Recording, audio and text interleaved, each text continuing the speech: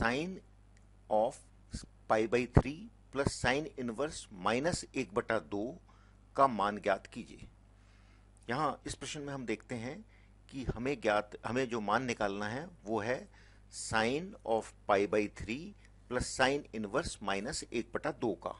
अब हम जानते हैं कि sine inverse minus X minus sine inverse X के बराबर होता है।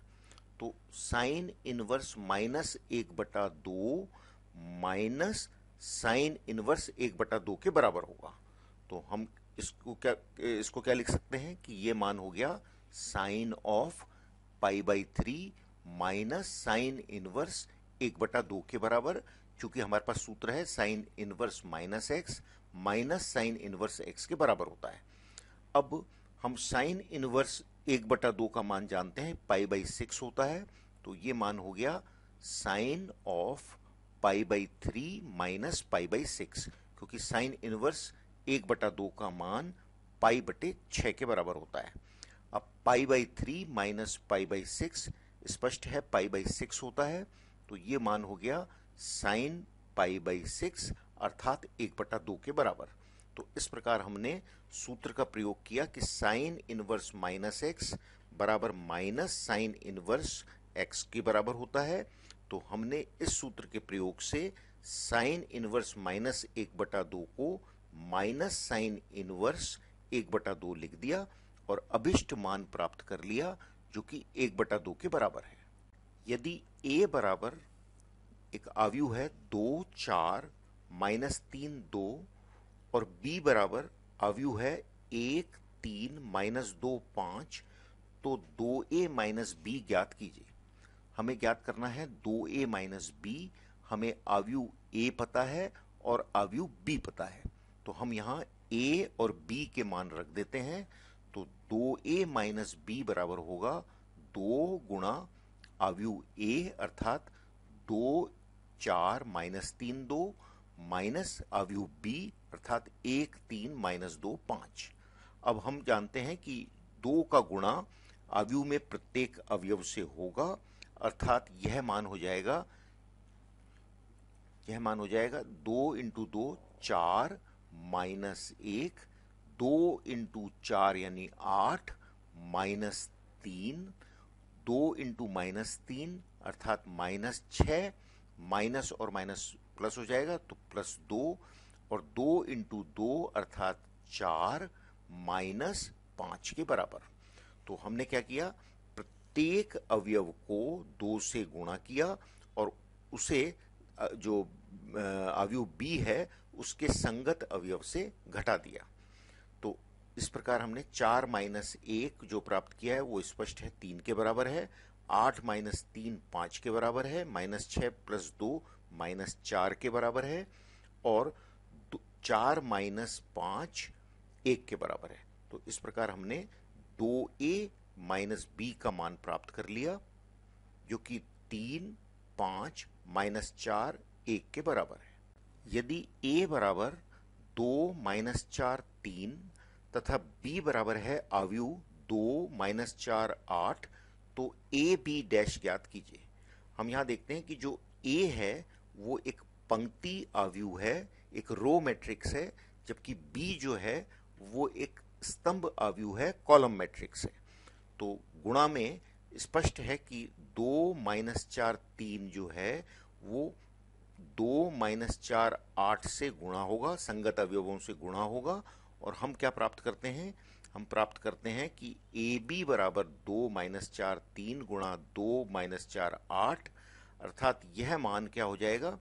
दो गुणा होगा दो से तो दो गुणा दो, माइनस चार गुणा होगा माइनस चार से तो माइनस चार गुणा माइनस चार प्लस करके तीन गुणा होगा आठ से तो प्लस तीन गुणा आठ। अर्थात इसमें एक अवयव होगा जिसका मान ये है। तो इसे कैलकुलेट करते हैं। कैलकुलेट करने से ये मान हो गया चार प्लस सोलह प्लस चौबीस, अर्थात चौवालीस के बराबर। तो ए बी जो अवयव है, उसमें एक अवयव है और वो चौवालीस है। अब यदि हमें ए बी डैश ज्ञात करना है ए बी डैश से अभिप्राय क्या होता है? ए बी डैश से अभिप्राय होता है कि हमें परिवर्त मैट्रिक्स ज्ञात करना है और उसके लिए हमें रो को कॉलम में और कॉलम को रो में बदलना है। परंतु यहाँ एक ही अवयव है जो कि चौवालीस है, इसलिए ए बी डैश का मान चौवालीस के बराबर है। तो हमने ए बी डैश ज्ञात कर लिया ए बी डैश बराबर चौवालीस। ज्ञात कीजिए integration of under root X plus एक बटा अंडर रूट एक्स का होल स्क्वायर डीएक्स का। यहाँ हम सूत्र का प्रयोग करेंगे। हमें ज्ञात है, हमें दिया गया है अंडर रूट एक्स प्लस एक बटा अंडर रूट एक्स का होल स्क्वायर डीएक्स का समाकलन हमें ज्ञात करना है। तो a प्लस बी का होल स्क्वायर होता है A square plus B square plus two A B तो यह मान हो जाएगा। यदि हम पूर्ण वर्ग कर दें, यदि हम स्क्वायर कर दें तो यह मान हो जाएगा x प्लस एक बटा एक्स प्लस दो डीएक्स इसका समाकलन। तो x का समाकलन हम जानते हैं, x का समाकलन होगा एक्स स्क्वायर बटा दो, एक बटा एक्स का समाकलन होता है, एक बटा एक्स डी का समाकलन होगा लॉग मॉड एक्स और दो का समाकलन होगा इंटीग्रेशन दो डीएक्स का मान होता है दो एक्स के बराबर तो यह मान हो गया एक्स स्क्वायर बटा दो, अर्थात एक्स का समाकलन X D X integration X D X होता है एक्स स्क्वायर बटा दो इंटीग्रेशन एक बटा एक्स डी एक्स होता है log mod X base E integration दो डी एक्स हो गया दो एक्स के बराबर प्लस सी जो कि जो कि समाकलन का अचरांक है तो इस प्रकार हमने दिए गए समाकलन को ज्ञात कर लिया, जो एक्स स्क्वायर बटा दो plus log mod X base E plus दो एक्स प्लस सी के बराबर है। अवकल समीकरण D Y by D X बराबर दो एक्स बटा वाई स्क्वायर का व्यापक हल ज्ञात कीजिए। यहाँ हमें दिया गया समीकरण क्या है? D Y by D X बराबर है दो एक्स बटा वाई स्क्वायर तो हम इस समीकरण को हम किस प्रकार से लिखते हैं कि चरों को पृथक कर लेते हैं। y के जो चर y के हैं वो पद एक तरफ़ ले आते हैं और x के पदों को दूसरी तरफ़ ले जाते हैं। तो ये समीकरण हो गया वाई स्क्वायर डी वाई बराबर दो एक्स डी एक्स के बराबर। अब हम दोनों पक्षों में समाकलन करते हैं।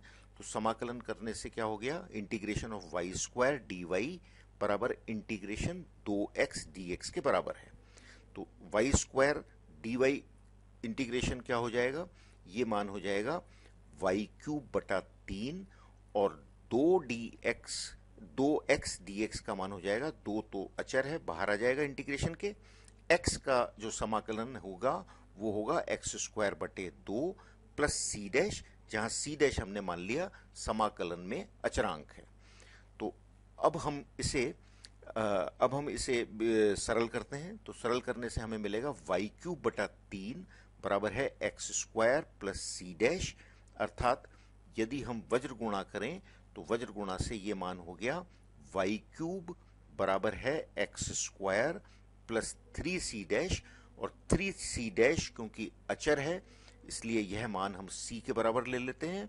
तो हमारे को जो अभिष्ट व्यापक हल प्राप्त हुआ, वो है वाई क्यूब बराबर तीन एक्स स्क्वायर प्लस सी